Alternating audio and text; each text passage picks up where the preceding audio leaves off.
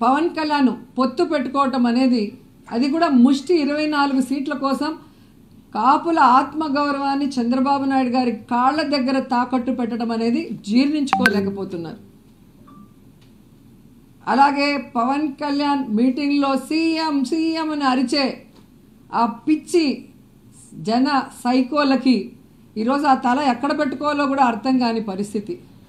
ఎందుకంటే పవన్ కళ్యాణ్ అనేవాడు ఎప్పుడూ కూడా పొలిటికల్ లీడర్గా పనికిరాడు. అతనికి రాష్ట్రం మీద అవగాహన లేదు ప్రజల మీద ప్రేమ లేదు పార్టీ కార్యకర్తలు నాయకుల మీద గౌరవం లేదు అన్న విషయం నేను అనేక సందర్భాల్లో చెప్పాను. ఎందుకంటే ఒక కార్యకర్త ఒక నాయకుడు గౌరవంగా ఉండాలి అంటే అది వైఎస్ఆర్ కాంగ్రెస్ పార్టీలో జగనన్న నాయకత్వంలోనే కు- కుదురుతుంది. సొంత జెండా సొంత అజెండాతో ప్రజలకి మంచి చేస్తూ నేను వైఎస్ఆర్ కాంగ్రెస్ పార్టీ నాయకుడిని నేను వైఎస్ఆర్ కాంగ్రెస్ పార్టీ కార్యకర్తని అని గర్వంగా చెప్పుకునే విధంగా కాలర్ ఎగరేసి గ్రామాల్లో వార్డులో తిరిగే విధంగా ఈరోజు జగన్మోహన్ రెడ్డి గారు ఇచ్చిన మాటకి కట్టుబడి పరిపాలిస్తుంటే తెలుగుదేశం వాళ్ళు జనసేన వాళ్ళు గ్రామాల్లో వార్డుల్లోకి వెళ్ళటానికి కూడా భయపడే పరిస్థితి. ఎందుకంటే చంద్రబాబు నాయుడు ఏ రోజు కూడా చెప్పిన మాట మీద నిలబడలేదు ఇచ్చిన మేనిఫెస్టోకి కట్టుబడి ప్రజలకి చేయలేదు. అలాగే పవన్ కళ్యాణ్ ఎప్పుడు ఏం మాట్లాడతాడో ఆయన పార్టీ పెట్టిన రోజు నుంచే మీరు చూస్తే అర్థమవుతుంది. పార్టీ పెడతాడు కానీ కంటెస్ట్ చేయడు. సింగిల్గా కంటెస్ట్ చేస్తే తాను కంటెస్ట్ చేసిన రెండు చోట్ల ఓడిపోతాడు. ఇప్పుడు బీజేపీతో పొత్తులో ఉన్నాను ఎన్డీఏలో అంటాడు ఇక్కడేమో బీజేపీతో సంబంధం లేకుండా తెలుగుదేశం పార్టీతో పొత్తు పెట్టుకోవడం చూస్తుంటే ఇతనికి ఏమైనా విలువలు ఉన్నాయా అని అర్థం చేసుకోవాలి రాష్ట్ర ప్రజలను కూడా ఈ సందర్భంగా తెలియజేసుకుంటున్నా.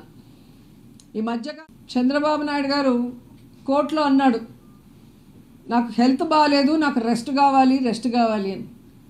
నిన్న కుప్పంలో భువనేశ్వరమ్మ చెప్పింది మా ఆయనకి రెస్ట్ కావాలండి ఆయన పని అయిపోయింది అని.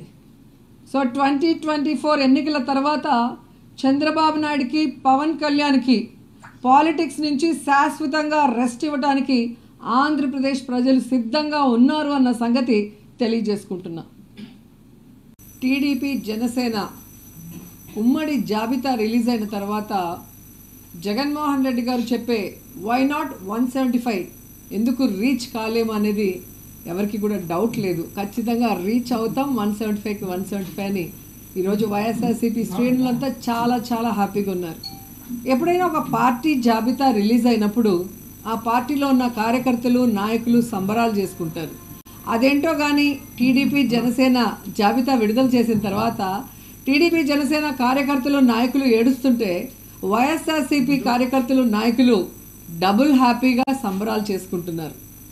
ఎందుకంటే ఈరోజు ఆ జాబితా చూశాక పవన్ కళ్యాణ్ అసలు ఎందుకు పార్టీ పెట్టాడు అని మాకే కాదు.